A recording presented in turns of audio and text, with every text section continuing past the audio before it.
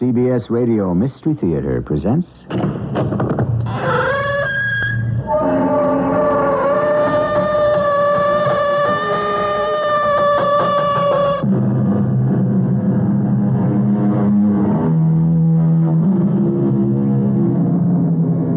Come in.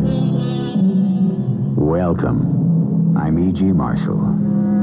We are here as on a darkling plain, swept with confused alarms of struggle and flight, where ignorant armies clash by night. Yes, at one time, war was war, and peace was peace, and everyone knew which was which, just as you could tell the difference between day and night. But now we seem to live in a perpetual twilight. Are we at war? Are we at peace? All we know is what we think we can see on the surface. He's making a mistake. It is possible. I'm not who he thinks I am. Could be. He's going to kill me for nothing. Perhaps. But there must be something I can do about it. Yes. What? Tell me what? Kiss me.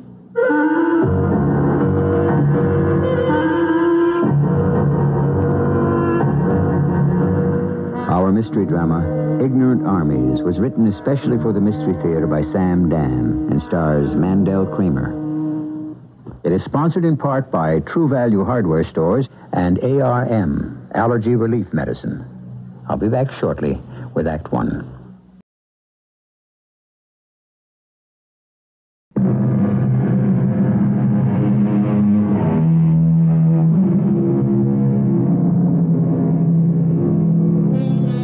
What is life? asks the Spanish poet. And he even obliges us with the answer. Life is a dream. And that could very well be. For there are those people who are convinced that they are living as prisoners in some desperate nightmare, and that every attempt to rouse themselves results in making that dream even more terrifying. Therefore, we shall say that this is the story, or is it the dream, of a man named Walter Patterson. You haven't finished your eggs, Walter. I'm not hungry. Waste not, want not. Really, Mother, I'm. I'm... Fidgety this morning, aren't you? Who, me? Hmm, you look a bit peaked, too. No, I'm all right. You haven't been sleeping nights either. No, Mother, please. I know when my boy's asleep and when he isn't. I can tell. Mother, I'm fine. You know what you really should do, Walter? Yes. Let me finish. Find a nice girl and marry her. Yes, Mother. Well, it's about time, wouldn't you say? After all, you're 35 now. I know. It's about time, wouldn't you say? Certainly is. Now, Walter, I really mean it. I know you do. Now, am I one of those mothers who keeps her son tied to her apron strings? No. Believe me, Walter, with all my heart, I want you to get married. I know, Mother. It's a normal, healthy, natural thing for a young man to do. Uh, there does happen to be a problem. Where can you find a nice girl these days? I don't know. Yes, where can you find a nice girl, a decent girl, a virtuous girl? Uh, I don't know what's happened to the world, Walter. Do you? No. There's a looseness in young people today, especially in young women. I don't know what boys like you, honest, idealistic boys like you, can do. Oh, well, maybe you'll meet her one day. Her? The girl that's worthy of you. Is any girl worthy of me? Why, Walter, dear. Who am I, Mother? What am I, anyhow? I'm just an ordinary, everyday chemist. Oh, you really are out of sorts this morning. All I do is figure ways to make food taste better. What a waste of time. Now, Walter. Food just as it is, the way it comes up from the ground, the way it ripens in the sun and the rain, that's the very best taste there is. How many times do we have to go through this? I mean, it's just that. Food, when it's fresh. If the Lord had intended for us to eat fresh food, he would not have created refrigeration. If he had desired us to eat it the way it emerges from the ground, he would not have invented chemicals. Uh, incidentally, do you still see that uh, Stacy girl? Oh, yes, Mother. I see Eleanor Stacy every day. Walter, is that wise? Well, I have to pass a desk on, on the way to my office. Do you. do you have lunch with her? Oh, no, I never have lunch with her. But on that day I came to visit Mother, you. I've I- already explained that more than once. There's no need to be edgy. I'd neglected to bring my sandwich from home. Neglect. Oh, I'd forgotten. Ah, psychiatrists say we forget because we mean to. So I went downstairs to the coffee shop in the building, and the only empty place happened to be at the table where she was sitting. And there's nothing more to it. And had you come over, you would have seen for yourself. Obviously, you're Miss Eleanor Stacy. She's not my Miss Eleanor Stacy. Uses too much makeup, dyes her hair, and wears clothes that call, I would say, rather indecent attention to um, various parts of her person. Well, Mother, I'd best be going. And she's not all that young either. I get the impression she's in her 30s, uh, up there. I wouldn't know. Why do you suppose she hasn't married till now? I never asked her. I'm sure she hasn't, oh, how shall I put this, waited, if you know what I mean. Oh, Mother, I'm not Eleanor Stacy's type. Indeed. I mean, I've seen the kind of men who wait for Miss Stacy with their long hair and their mustaches and their leather jackets, and they all ride motorcycles. Oh, poor naive Walter. There's so much about women you simply don't know.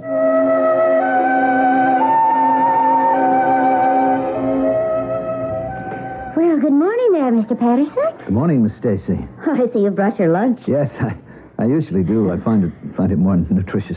No doubt. Well, it looks like a gorgeous day. Very few clouds in the sky. Yes. Those few, though, are rain clouds. I shouldn't be surprised if we have some showers by noontime. Oh, really? Uh, the wind is from the east. Oh, that's no good, huh? Oh, well, it means a heavy downpour, maybe even flooding. Thanks a lot for the weather forecast. Oh, look, I'm sorry if I said anything that may have upset any of your plans. Oh, forget it. But after all, Miss Stacy, I, I have no control over the weather. I could see by her face that I had just ruined her day. I just don't seem able to talk to girls. They say you should talk about things you know. Well, I know quite a bit about meteorology, but somehow it all ends badly. I, well, I wouldn't say badly, but I couldn't say goodly either. Patterson, Yes, Mr. Borstel. where are those protein samples? Well, I, I'm, I'm, I'm still constructing them. You've been at it a week. Yes, I'm, I'm aware of that, Mr. Borstel. Do you intend to make a career of it? Yes, you pidge-faced, mean-spirited little bureaucrat. There are successful, well-known, respected scientists who have made a career out of less. These proteins will revolutionize the eating habits of the world and save millions, maybe billions. And what's in it for me? Nothing. All the credit, all the money goes to the company. All right, I signed that agreement when I took the job, and I'll honor it. But you keep out of my way, you hair-splitting, clock-watching fool. That's how I should talk to him, but all I ever say is, "I'm sorry, Mr. Borstel. I'll, I'll, I'll have to do better."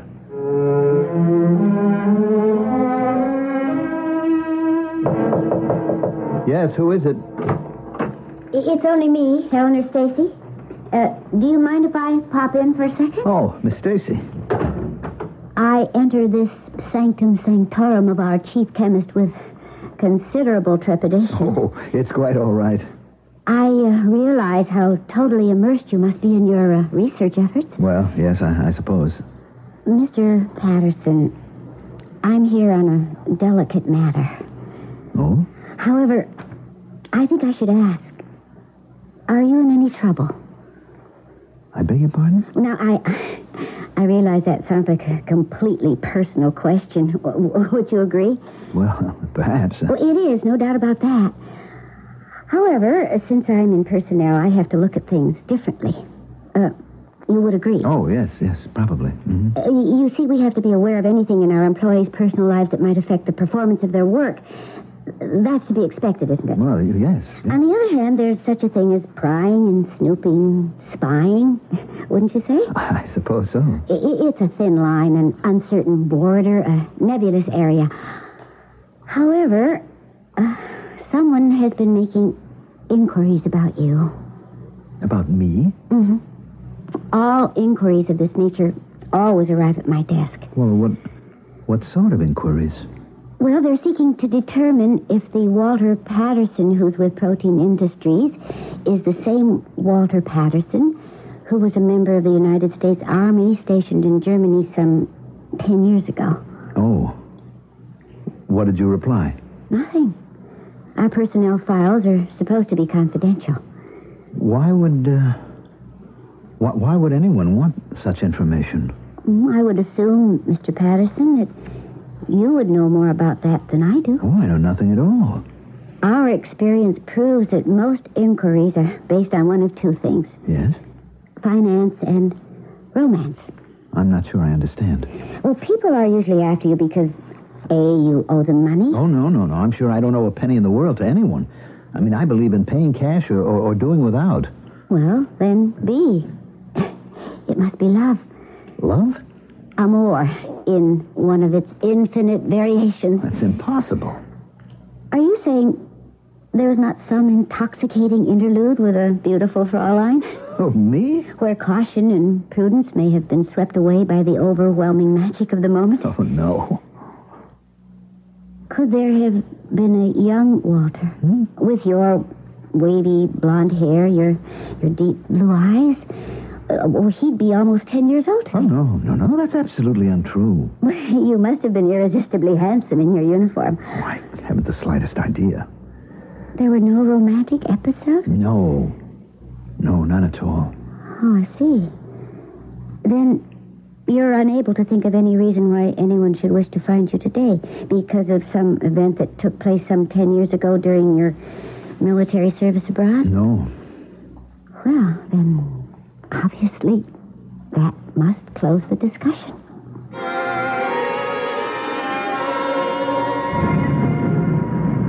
Excuse me, sir. Oh, yes? Uh, do you, uh, do you have a match? Oh, I'm sorry. I, I don't smoke. I mean, I'm not, I'm not sorry I don't smoke. I'm glad I don't smoke. It's just I'm sorry I can't oblige you. Oh, thank you. Uh, do you uh, have the time? No, I'm afraid I don't wear a watch. You do not wear a watch. Well, I find wearing a watch can impede my circulation. You could carry one in your vest pocket. Oh, that's a little out of style. I understand they're coming back. Oh, I'm glad to hear that. Uh, would you do something for me? What? If you will look at the curb just five feet away, Well, wh- wh- why, why should I do that? you will notice a taxi cab is just arrived. Oh, I don't need a cab. You will be good enough to enter? What for?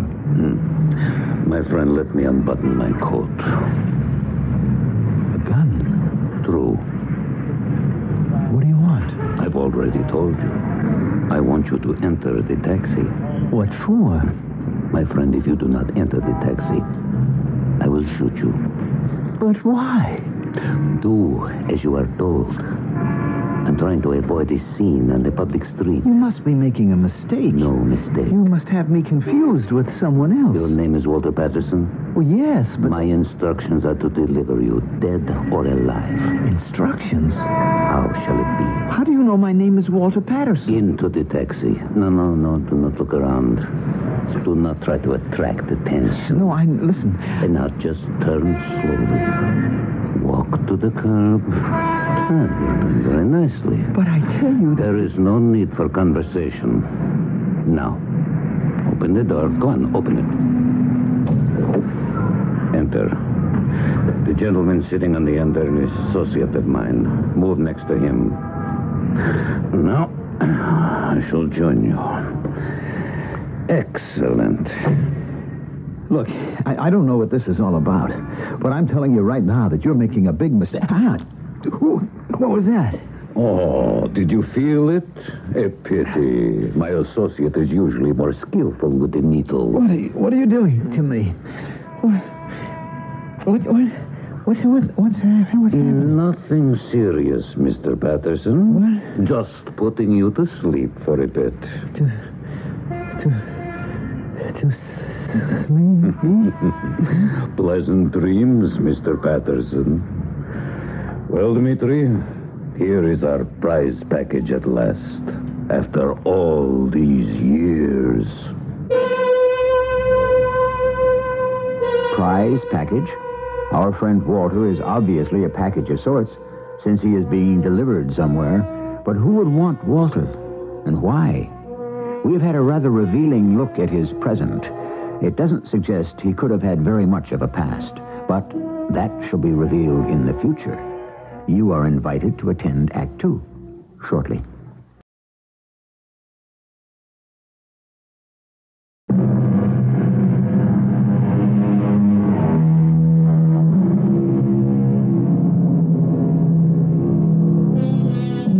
Still waters, they tell us, run deep. You might also say that deep waters run still. Yes, you know that quiet, shy, self-effacing, mousy type of whom it is said butter wouldn't melt in his mouth. Well, sometimes it turns out it's because he doesn't eat butter. He devours raw meat. Is our pussycat really a tiger? What? What happened? Where? Where, where am I? Where? Who are you? Ah, you have become awake. You, you, you, you kidnapped me. You, you took me off the street in broad daylight at the, at the point of a gun. At any rate, you are here. What do you mean, here? Where, where's here? Oh, head. Ah, it is to be expected. The drug leaves lingering traces of uh, discomfort. Forgive me. Forgive you? Uh, Marina, my dear, pour a glass of water for Mr. Patterson. Yes. Drink. So, we finally, as you say in your country, make connections. Connections. Sir, may I say something? You are expected to say a great deal. That is why you've been brought here. A mistake has been made. A mistake. Yes, a mistake of, of, of monumental proportions. Obviously, you have me confused with another person. Your name is Walter Patterson. Yes, but I am not the You owner. were a soldier ten years ago in Germany. Yes, but I'm sure that. You would visit the town uh, of Glassenheim. Yes, but so did thousands. Besides, my name is not very unusual. Mr. Patterson, it would be best to put uh, all the cards, as they say, on the table. You have me confused with someone else. Now, please, before things reach a point where it would be awkward for everybody, why don't you just let me leave here? Leave? But you have just arrived. And we have not yet reached an understanding. That's what I'm trying to explain. It's a mistake. No, Mr. Patterson. I will explain. No, please don't. Right now, I couldn't understand anything.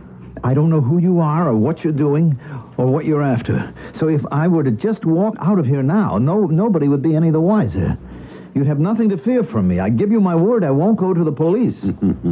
What an interesting idea. What do you say now? You went you went to some trouble, I admit, but I'm the one who got a headache out of all this. So why don't we just call it quits? Dmitri, have you anything to say to Mr. Patterson? oh, wait, wait a minute. Now, you deny that you're Walter Patterson? I'm not the same Walter Patterson. A girl, a girl named Gunhilde Bismarck. You never knew this girl? Well, I why not? You deny that you know her? No, I tell you. Dmitri? No, no, no, no. I knew her. Ah, so, we shall all be sensible now, hmm? and friendly. Marina, pour a glass of wine for Mr. Patterson. Now, you would visit Fraulein Bismarck at her home, hmm? Of an evening? I may have. Mhm. And you would speak with her of uh, many things. Well, you know, I mean, uh, there, there was talk. Uh, and you told her many things. I don't know exactly what I told her. I mean, you know how it is. You you, you talk to a girl. You, Did you not tell Fraulein Bismarck that you were a member of the American Secret Intelligence? oh, me? Why why should I tell her a thing like that? You deny that you told her that? Oh, I never said. Dmitri? Now stop him. All right, I I did I did say something like that, but you see what it was. Yeah. It was a lie. A lie? Absolutely. Why did you tell her a lie? Because I was I was I was trying to impress her. Oh. Continue. You see, I had I'd never gone out with girls before. I mean, not very much. I mean, practically not at all. So then there was the draft, and I mean, you had to go into service. So I, I was sent to Germany, and I, I decided then that I would actually go on some dates. Uh, why did you not go on uh, dates, as you call them, here? Well, you see, my mother, she doesn't think that any girl is good enough for me. Mm-hmm. Continue. But now that she was, you know, 4,000 miles away, I decided what she didn't know couldn't hurt her. Oh, you were a sly one. Is that not so, Marina? Yes. So I went into this cafe in Glassenheim and I met this girl, Gunhilda.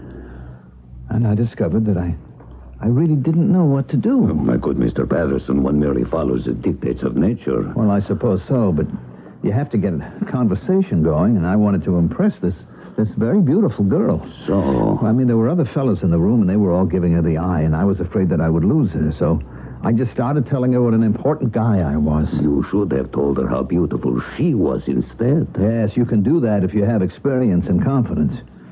I mean, after a while, you develop a, you know, a free and easy manner, but I'd never been with a girl before. So you told her that you were with intelligence. Yes.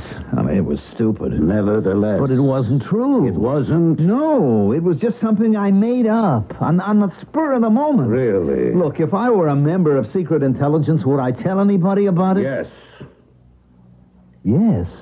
Especially if you had come there purposely to meet her. No, you've got it all wrong. You had discovered somehow that Gunhilde Bismarck was one of our agents. How would I know that? And so you arranged with her to sell army secrets. No, no, no. You were well paid. I never got any money. You insisted on being paid in advance. You're wrong. Oh, very clever. You whetted our appetites with a few choice morsels. I believe in your country it is known as uh, setting up the sucker. Wait, wait, no, wait, wait. Let, let, let me explain Oh, why. you were given the big payment. And then you were never seen or heard from again. Dmitri! No, no, don't. have So. Enough time has been wasted. Ah. You will continue now to give us information. I don't have any. Dmitri! Wait, wait, please. Yes? You have almost one quarter million dollars of our money. You will have to, as they say in your country, work it off. I'm Trying to tell you. Enough. Dmitri and I, we have a meeting now to attend. Marina will watch over you. Marina is a very good shot. Marina, kill him if he tries to go. I will.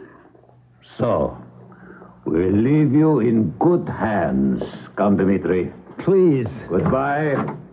Or, uh, au revoir. Look, Miss, uh, uh, Marina, is that your name? Yes? This is a mistake. Believe me, it's a terrible mistake. Oh, yes. Can't you say anything but yes? Yes. That girl, you know, that Gunhilde, I was, I, I was just giving her what's called a line.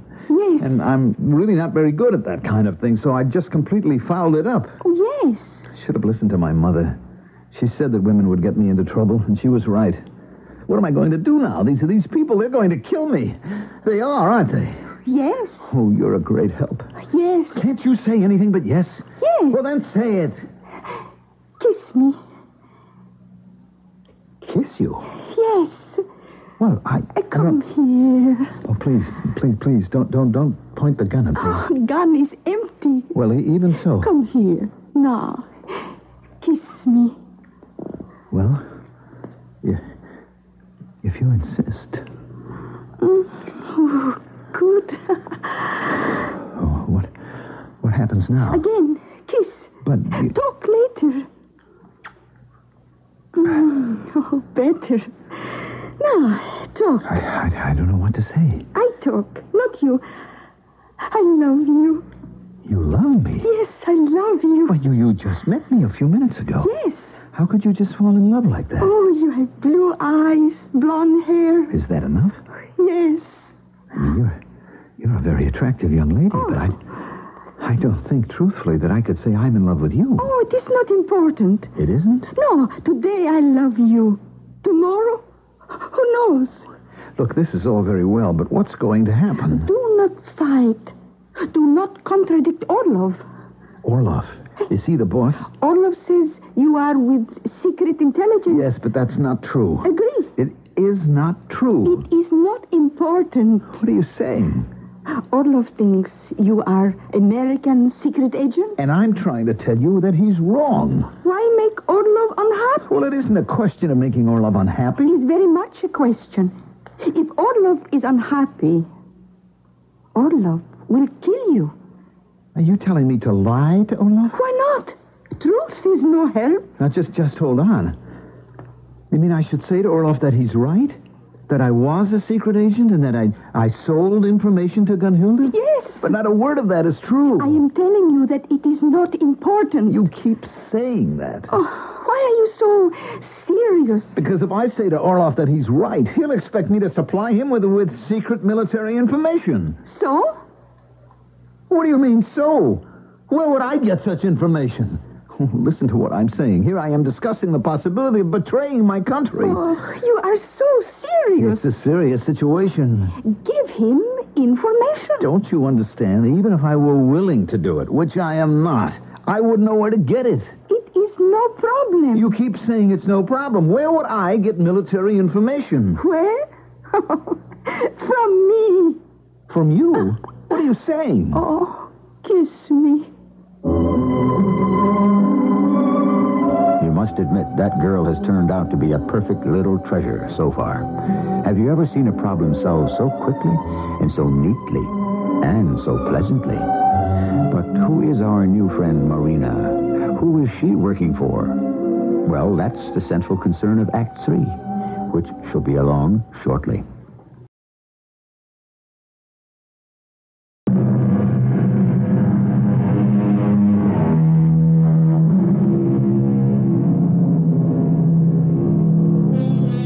Who was it, uh, which philosopher said that we shall not be punished for those little lies that we men tell to women? Well, it's permissible, I suppose, to bend or even stretch the truth a bit when you whisper sweet nothings into a lady's ear. The problem is that sweet nothings may become sour somethings if overheard by the wrong people. After all, love may be blind, but no one ever said it was deaf.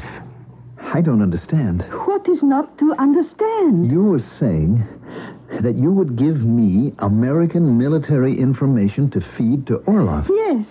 Oh, kiss me. Wait, wait, wait, wait. First, where would you get such information? Where? In my head. I don't understand that. I would make it up. Invent it. You mean fabricate? I tell you. You tell Orlov. But he'll never believe. Orlov is happy because he has information. You are happy because you are still alive. I don't follow you. I am happy because you can kiss me. Now, look, about this information. Information. How you say, give him standard information. Standard? Some information everybody make up. How many troops, how many planes, how many bombs, rockets, guns. But why should you want to do it? Oh, because I love you. Because you think you love me. Now, when Orlov returns, here is what you say.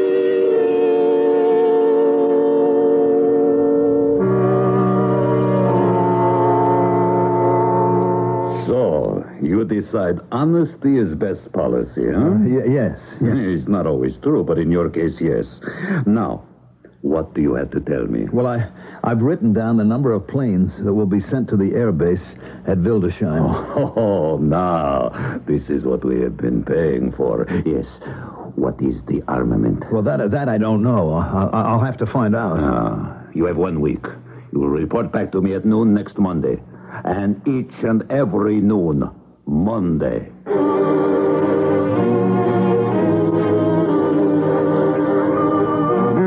Patterson, let me see if I have it all. You claim these alleged foreign agents. Mr. Larkin, why do you say alleged? Ah, we have laws in this country. A person is innocent until proven guilty and so forth. At any rate, they abducted you and expected you to furnish them with military information. yes. Mm-hmm. And one of them, a woman, promised to help you deceive the others. That's correct. Mm, I see. And why is this woman doing it? Because she she fell in love with me. I, it must have been at first sight. All right. I want to thank you for um, bringing this information. Well, I believe it's my duty as a citizen. Yes, Mr. Patterson, it certainly is. And now, if you'll be good enough to excuse me. Oh, I understand. You you probably want to get to work on this right away. Oh, yes, Mr. Patterson, we certainly do. Well, I won't hold you back another minute. Goodbye, Mr. Patterson. And good day to you, Mr. Larkin. Oh, boy. Mrs. Larkin, it's for the nut file. But you have to run it down anyhow. Man's name is Patterson, Walter. Any claims. Mm, nice. Walter, you are a sensational lover. Uh, look, Marina. Orlov will be here any minute, and I don't know what to tell him. Oh, tell him standard. Again, standard? No. Tell him ten. No, better make dozen. Twelve missiles in base at. Uh, where to put twelve missiles? All right, in base near Wildersheim. But how long can this go on? How long? is good question. I mean, how long before Orlov becomes suspicious? Orlov never will go on until Colonel Planov becomes suspicious. Who is Colonel Planov? Oh, he is what you call boss, big boss. He put everything you tell Orlov in computer. Oh, yes? And then one day, he send Orlov friendly message. Come home for visit, Comrade Orlov. Oh? Orlov thinks he is coming home for medal. Oh, no. No? No. Orlov is coming home so that he can be... Oh, poor Orlov. You mean they would shoot him? Oh, yes. But suppose Orlov becomes suspicious of me first. Oh, then Orlov shoot you. But You must not to worry. Oh, better kiss me.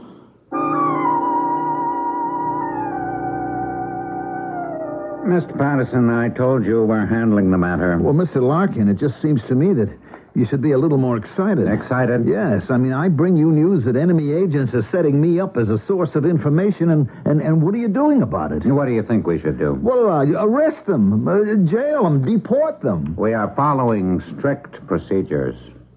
Mr. Larkin, I have an idea that you're laughing at me, that you're not taking me seriously. Oh, but we are. I don't believe it. Mr. Patterson, we've investigated you thoroughly. Me? What for? What did I do? Uh, we've also called on Mr. Orlov. You what? He's a very highly respected, reputable businessman. Now, that isn't so. We confronted him with the story that you told us. Well, naturally, he would deny it. I think he spoke the truth. The truth? Seems that he has a niece, a Miss Gunhilda Bismarck. Did you know the young lady? Well, I. Uh, Yes, I. Some years ago. Appears you took advantage of her youth and innocence.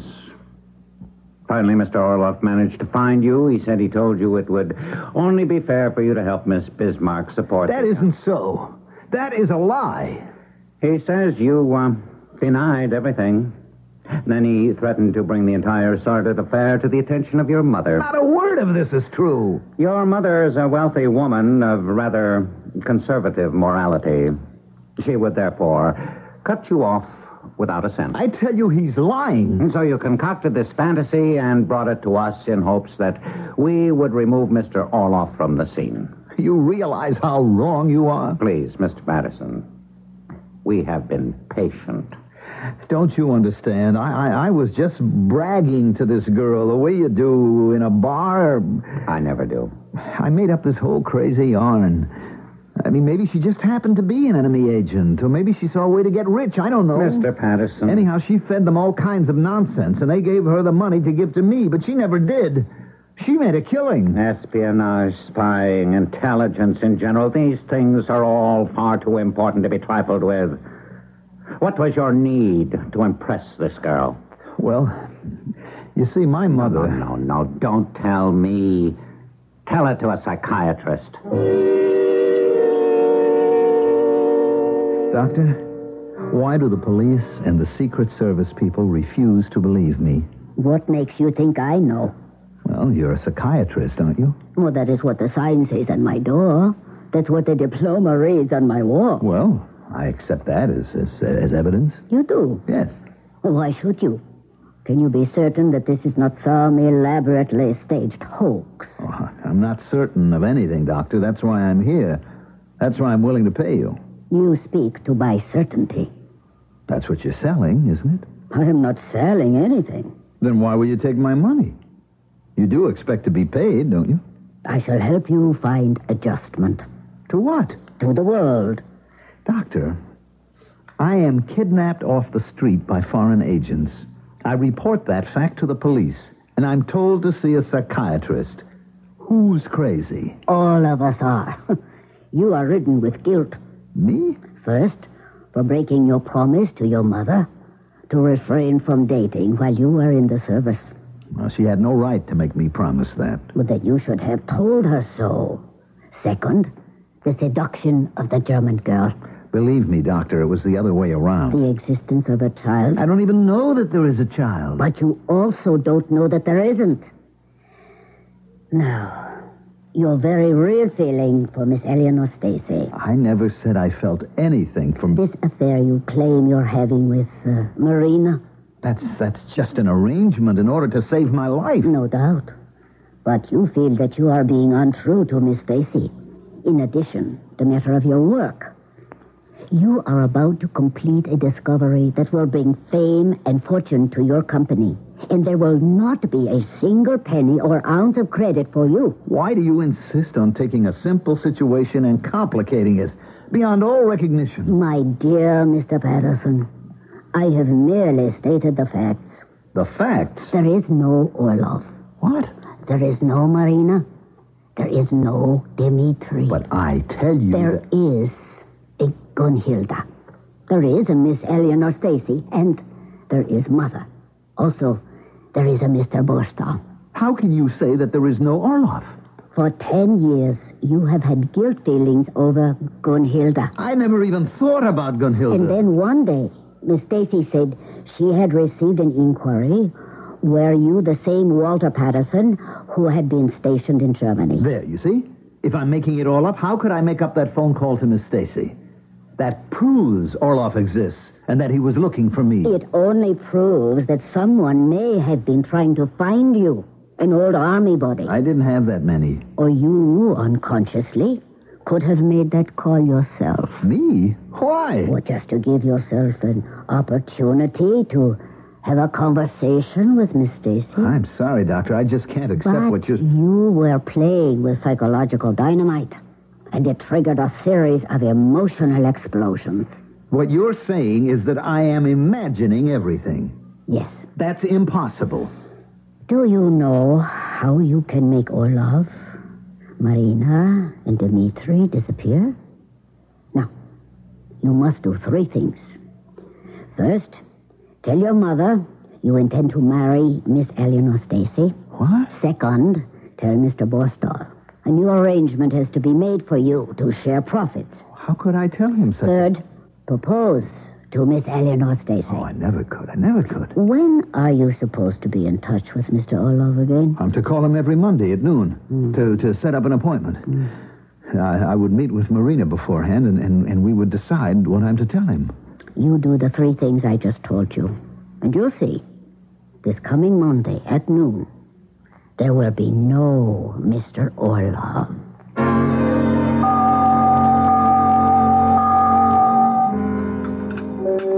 Oh, you haven't finished your eggs, Walter. Yes, I know, Mother. Waste not, want not. You know what I'm going to do this morning, Mother? Oh, you sound bright and alert. Well, I've made up my mind. Oh, Monday morning is always a good time to start a fresh project. Well, I have a good one in mind.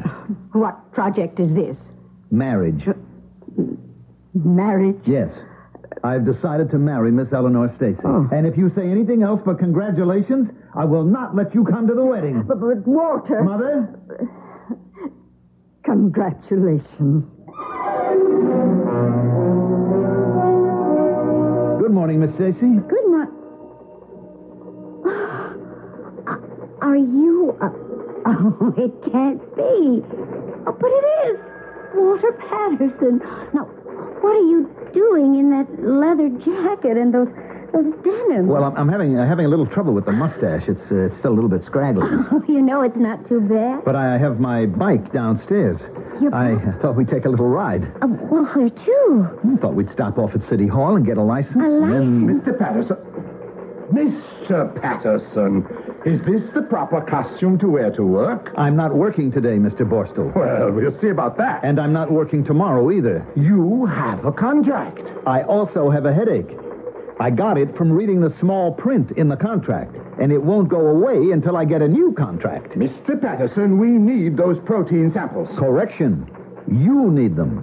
Write a contract that says we and my headache will disappear. Do you know what you're saying? Yes. Do you? Well, I... I uh, uh, why don't we all sit down with our lawyers and, and try to work something out? Later.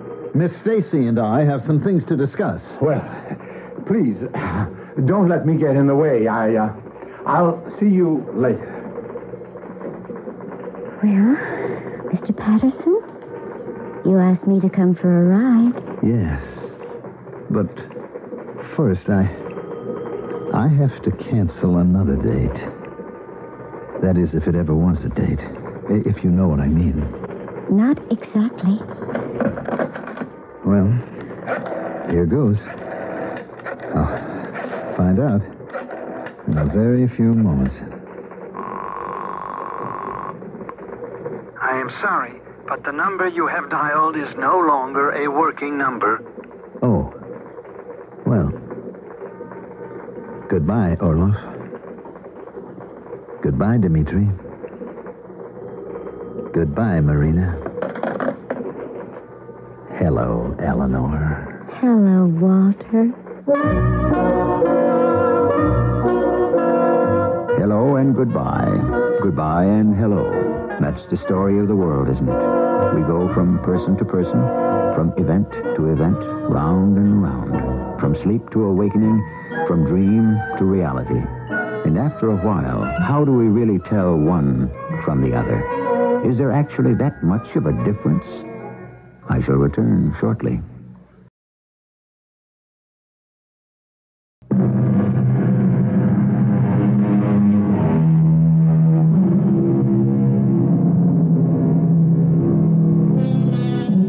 Once again, we've brought you a tale that can adapt itself to anyone and everyone's attitude, taste, and beliefs. How do you want it? Was it a fantasy? An acting out, as the psychiatrists say, of a man's deep-seated guilts and inadequacies? Or was it a meeting at a point in time of a series of actual incidents? What do I think? I know only as much as you do. Our cast included Mandel Kramer, Evie Juster, Bryna Raeburn, and Ray Owens. The entire production was under the direction of Himan Brown. And now, a preview of our next tale. After the twelfth stroke of the hourglass clock's chime, there was no sound but the beat of the clock and my own heart. Everything else had stopped dead. My friend's mouth was frozen in the act of speaking. His hand poised over a chessman as though cast in bronze. Outside, like the old child's game, people had turned to statues. A car backing into a parking space was stopped in its tracks. The very raindrops hung motionless in the air like a spangled curtain.